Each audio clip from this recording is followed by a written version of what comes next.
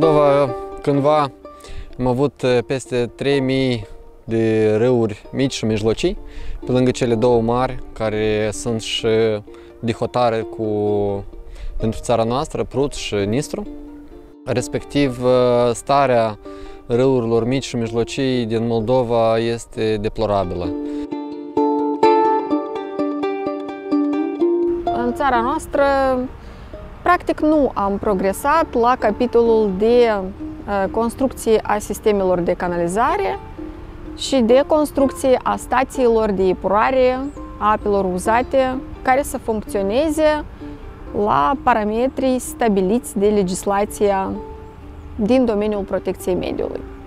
Exact la fel cum nu avem progrese în sectorul menajer pe construcția stațiilor de epurare a apelor uzate, aceeași situație este și în sectorul economic, acolo unde agenții economici nu au construit sisteme de tratare ori de pretratare a apelor uzate.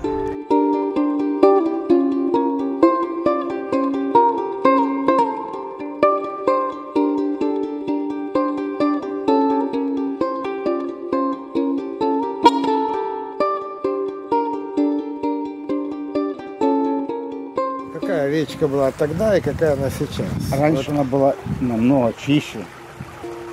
И прозрачная вода была, сейчас грязная. Раньше купались здесь. В этом корыте мы все время, все время приходили каждую субботу, мы садились, мы здесь мылись, как, как положено там. И не надо было ходить купаться на озеро, чистая вода была. А рыба вот здесь каждое утро, каждое утро, кто первый из соседей вставал, брал сачок. У нас озеро было в Будеш, так и здесь. И сачком только раз черпанул, пол сачка сразу. Карась, э, был э, этот э, карпик, карпик. Качество воды. Качество воды, потому что химикаты пускают. А кто пускает? Есть пивзавод. Вы летом приедете, здесь белое. Химия. Белый как мыло. Пивзавод. Куда спускает пивзавод? Стравливают все в, речку. саму. Единственная речка, которая самая чистая была, они загадили полностью.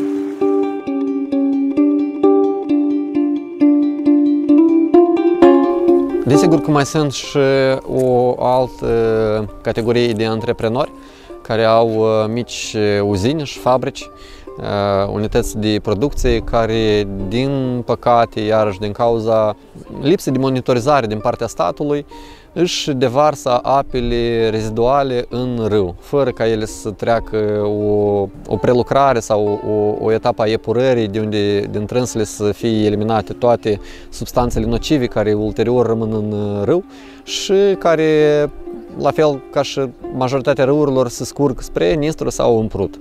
O altă sursă de poluare reprezintă deșeurile. Altfel, în Republica am creat peste 3000 de gunoiești, care sunt practic toate neautorizate și sunt o sursă majoră de poluare a apelor de suprafață.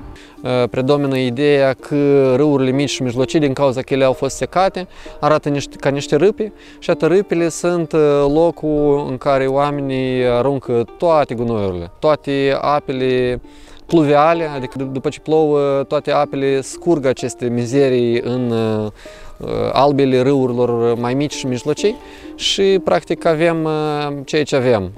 Râuri pline de gunoaie, mizerii și cel mai periculos sunt oamenii care s-au obișnuit cu asta și nu văd nicio problemă în uh, acest fenomen. Avem râuri care nu au fâșii de protecție, ori legislația noastră spune că fiecare râu trebuie să aibă o zonă de protecție și o fâșie de protecție care ar presupune că nimeni nu intră în râu, nu aruncă deșeuri în râu sau lângă râu. Autoritățile publice locale, ignorând practic legea 440, practic să-și bat capul de, de, de propriile râuri și să le protejeze prin astfel de fâșii forestiere. Până la urmă ne trezim cu râuri care sunt pline de ape de canalizare, care sunt pline de deșeuri și gunoaie de tot felul. Toată această poluare, bineînțeles, ne vine pe masa noastră, ori toate substanțele toxice și periculoase migrează în apa de suprafață și până la urmă ajunge în aceeași producție agricolă care poate fi irigată din apă, ori ajunge în carnea animalelor domestice care se adapă din aceste râuri. De obicei, oamenii apreciază faptul că lângă râuri, lângă apă, iarba este mai proaspătă și mai abundentă și o folosesc în scop de pășunat, fapt care nu este nici legal. Asta este un loc și un bun de utilitate publică care ar trebui să fie consacrat anume pentru protecția râurilor și nu pentru pășunat.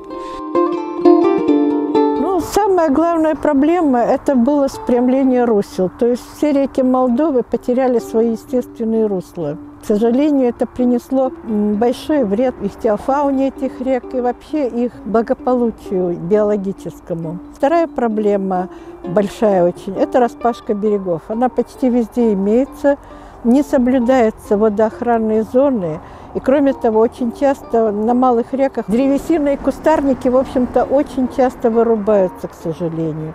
Берега получаются голые, размываемые. Sunt unii agricultori care preferă să tragă brazda până.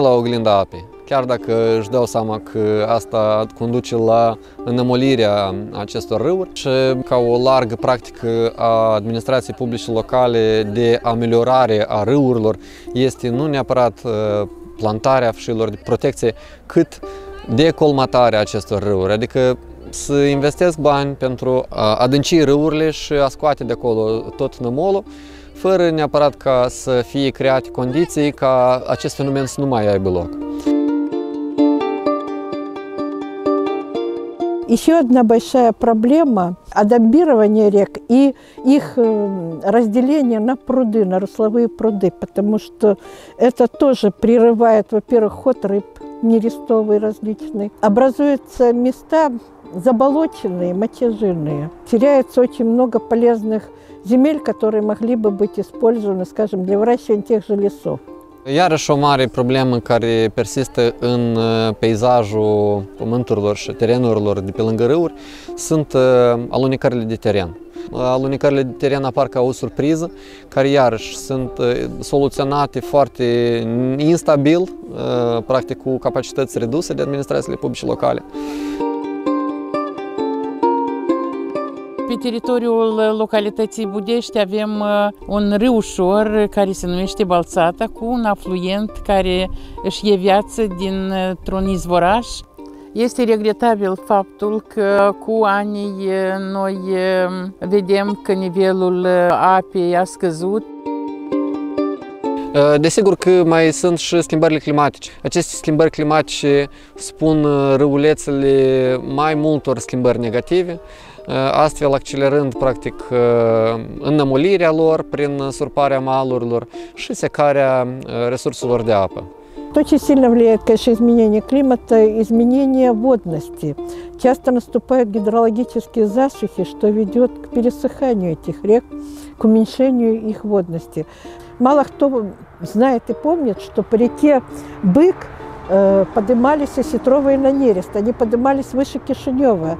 Râul Băc este cea mai mare sursă de poluare a râului Nistru. Râul, da, este unul mort, în special după municipiul Chișinău, pentru că nu poate susține niciun ecosistem, nu supraviețuiește nimic în el și poluarea este una foarte excesivă. Deci să înțelegem că cele mai mari surse de poluare a râului Băc este stația de epurare a apelor uzate a municipiului Chișinău și poligonul de la Țânțăreni. Pentru asta iarăși trebuie să găsim soluții colectarea, sortarea, reciclarea deșeurilor.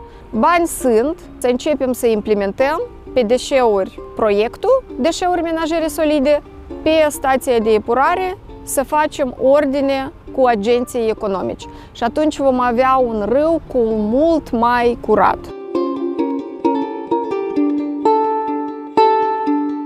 Noi, în cadrul Comitetului Subbazinal a Râulețului Balțata, creat în 2017, împreună cu Ecotiras și Renașterea Rurală și administrațiile publice locale din Togatin, Budești, Bălțata, Bălăbănești și Cimișeni. Tot ne întâlnim câteva ori în an la niște ședințe și vorbim ne promitem unul la altul multe chestii, însă acțiunile întârzi să apară. Cam asta este situația la nivel național. Ce s-ar întâmpla dacă noi am planta toate fșile de protecție a râurilor din țară, are și rețeaua ecologică națională locul în care biodiversitatea și-ar găsi habitatul, iar uh, pădurile care vor uh, crește în marginea acestor râulețe vor spori și calitatea vieții oamenilor care locuiesc în preajma lor.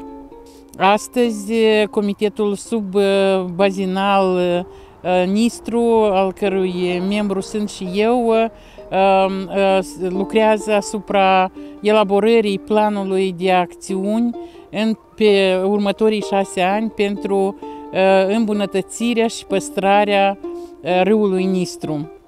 Sigur că în acest plan de acțiuni este necesar de prevăzut și aportul tuturor unităților administrativ-teritoriale care sunt în Republica Moldova, pe teritoriul cărora curg cât de mici râulețe care până la urmă se revarsă în râul Nistru și responsabilitatea fiecăruia este foarte importantă pentru a păstra aceste mici râulețe, a le amenaja malurile, a înverzi. O curățire, o filtrare bună a apelor de suprafață le asigură pădurile din Republica Moldova. Avem doar 11% de acoperire a Republicii Moldova cu păduri, respectiv acest filtru lipsește. Și asta înseamnă că noi toți, populația Republicii Moldova, trebuie să reîmpădurim țara noastră, ceea ce ar asigura o purificare a apelor noastre de suprafață. Și lucrul ăsta este absolut obligatoriu pentru următorii 10 ani. Altfel, noi vom fi martori la dispariția râurilor noastre. Deci noi suntem astăzi în localitatea Bălbănești, aici pe un teren, practic pe ambele maluri a unei zone de protecție a râulețului Balțata. Am înființat o fșii de protecție, o perdea forestieră care sperăm noi că va aduce mult folos. Totuși există o speranță că comunitățile, oamenii care locuiesc în vecinătatea râurilor vor deveni conștienți de faptul că starea râurilor este practic o reflexie a lor și respectiv din nivel a calității vieții pe care o duc. Și noi tare vrem să comunicăm faptul că calitatea vieții pe care noi o, o avem foarte mult depinde de implicarea noastră în activități de soluționare a problemelor de mediu. Pentru că fără mediu nu ne-am putea exista. Asta este casa noastră, planeta Pământ, țara, orașul, satul. Este foarte important pentru societate ca să prețuiască orice sursă de apă și să putem lăsa în urma noastră pentru viitoarele generații natură îngrijită și protejată, un mediu protejat.